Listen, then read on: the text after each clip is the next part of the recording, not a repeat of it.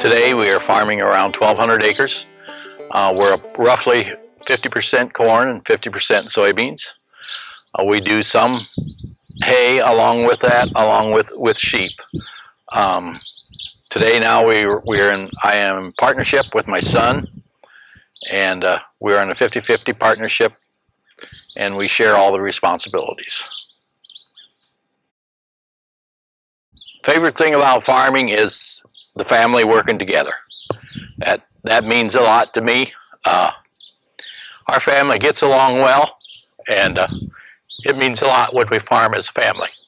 My wife has been very supportive of, of parts getter, kids, keeping kids happy, and uh, making the farm run as smooth as possible. Not knowing over 50 years ago that I would be a farm wife and having four wonderful children and the opportunity to have them raised here, be raised here on the farm has just been a blessing beyond all blessings. Um, we have been able to give them the opportunity to work, to understand what it is to run a business, to make good friendships, be involved in good, strong leadership roles, and whether it's FFA, 4-H, um, just their schools and different things like that. I couldn't have been, I couldn't have planned my life better. Coming to the farm and um, recently developing a chicken operation where we had 14,000 laying hens was um, quite a job.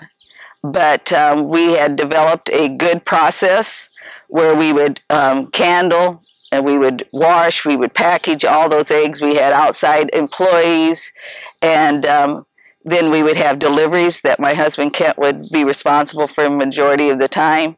So it was managing some of the people that uh, would help us out. It was managing the clients that we were working with, and just really having a um, very much of a business structure every day. Um, and uh, when you have chickens, they lay every day, and so you don't really get a day off unless you can find some wonderful person to take over for you when you want to try to get away for a couple days. When I think about Kent and his strength as a farmer, I know it's patience. I know it's um, he thinks methodically. He's a good thinker, and he is um, so capable of so many things. But he never does it to be eh, to get the glory or to be up front or be recognized or anything like that. He just goes about his work in a steady, patient manner. What I have done in my community is what I would like to see other people do now is volunteer. I think that's where we lack.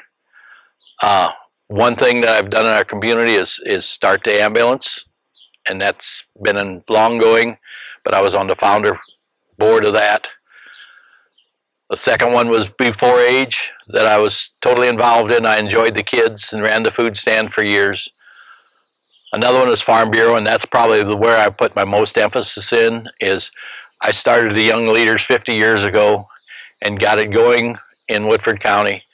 We had a good, strong board, and we've moved along. We've made progress, and and we're trying to educate and teach the people teach the public that we as farmers are responsible farmers.